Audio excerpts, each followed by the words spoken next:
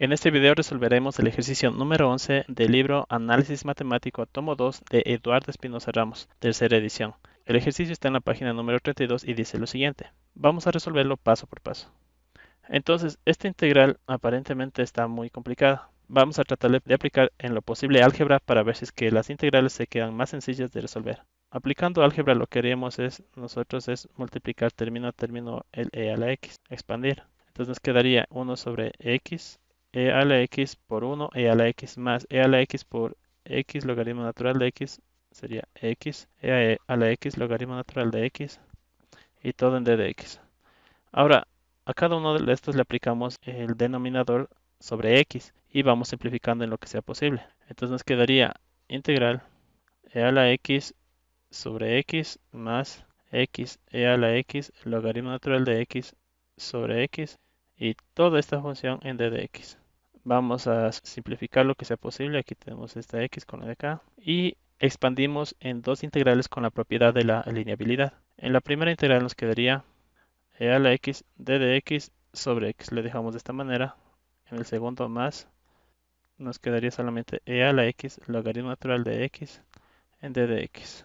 Ahora vamos a resolver la primera de estas integrales. La segunda integral la dejamos tal cual. La dejamos como resultado 1. Entonces solamente vamos a resolver la parte que es e a la x d de x sobre x. Y lo vamos a resolver por partes. ¿Cómo se resuelve por partes? Nosotros debemos escoger la integral por partes. Dice lo siguiente, que debemos tener u d de v es igual a u por v menos v de u. Significa que toda nuestra integral debemos dividirla en dos partes. Nosotros tenemos prácticamente en tres, e a la x, la x y d de x. Para nuestro caso vamos a asumir que e a la x es u, porque es fácil de diferenciar, y d de v es el resto, d de x sobre x. Nos quedaría lo siguiente, si u es igual e a la x, entonces d de v es d de x sobre x. Lo siguiente que hay que hacer en la integral por partes es calcular dos coeficientes. Para u debemos calcular su diferencial. Entonces, diferencial de u es e a la x d de x. Y para el caso del diferencial de v, lo que hay que calcular es lo contrario. Asimismo, sería la integral o v. Tendremos que integrar esto y esto. Entonces al lado izquierdo nos queda v y al lado derecho es d de x sobre x es logaritmo natural de x. Nosotros tenemos que decir que esta integral es igual a u por v. u hemos calculado y v también. Entonces escribimos u, que es e a la x, por v, que en nuestro caso es logaritmo natural de x. Nos dice menos, menos integral de v, v tenemos en este punto, logaritmo natural de x y por d de u. d de u tenemos en este punto. Entonces sería e a la x d a la x. Si nosotros nos percatamos, esta parte de la integral es como dice aquí es una igualdad, entonces es igual a esta parte de la integral. Si nosotros reemplazamos, reemplazamos a la integral en este punto, se van a simplificar esta segunda integral con esta otra integral.